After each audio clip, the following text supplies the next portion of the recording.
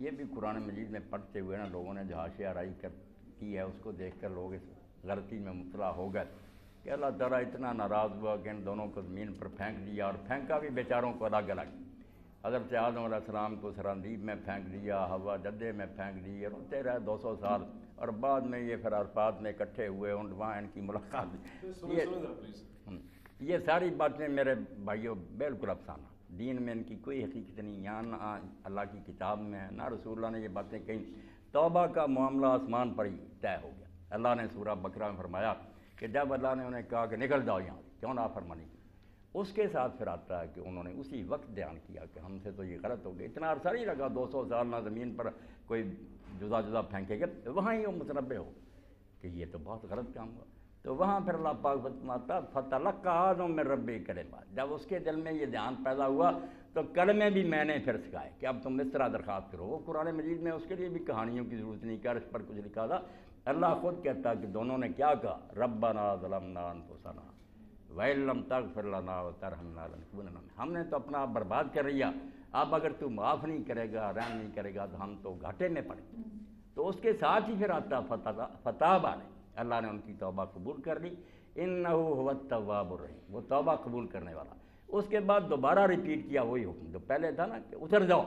दरमियान में तौबा, कुरान जी देख लेना, निकाल कर। तौबा हो गई कबूल, मगर फिर हुक्म हुआ कि ज़मीन पर उतर जाओ। ये दोनों हुक्म अलग नौई पहला सदा का था, निकल जाओ, क्यों ना फरमानी की? मगर तब तौबा कर ली।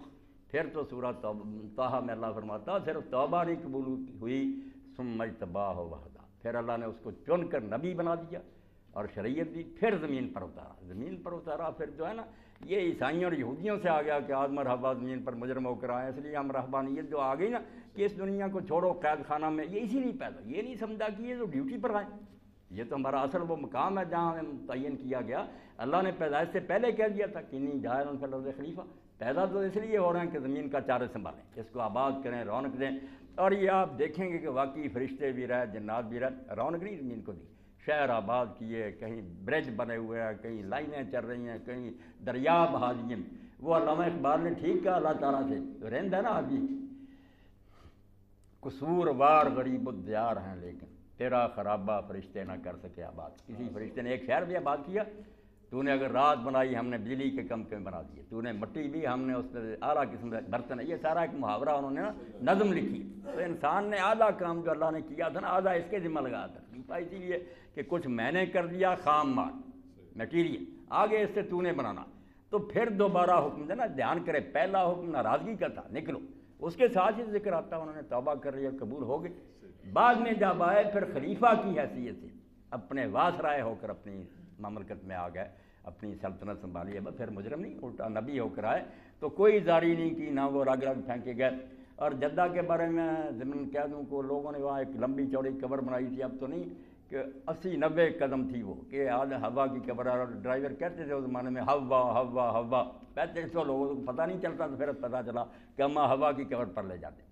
तो मौलाना अहमद रजा खान बरेली रहमत ने खुद लिखा है अपने रसाले में कोई वहाँ ज्यारत के लिए ना जाए, वहाँ ना वहाँ हवा दफन है, ना वहाँ उन्हें जाने का सबूत है। जाली बातें करी। कोई नहीं ये हकीकत है।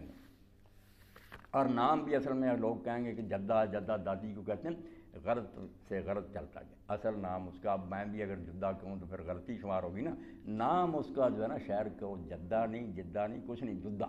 जुद्दा तुलबहर समुंदर का किनारा। ये बंदरगाह बनाई थी हज़रत उस्मान रज़ी ने, शहर उन्होंने आबाद किया। तो इसका नाम रखा समुंदर के किनारे, जुद्दा। जुद्दा तुलबार मगर वो जुद्दा होते होते जद्दा हो गया, भाई उसको छोड़ें तो फिर घर तो राम भी सही हो जाता ना। हम जद्दा बोलते थे, ना कोई दादी थी, ना उसके नाम पर शहर है। जुद्दा तुलबार जी।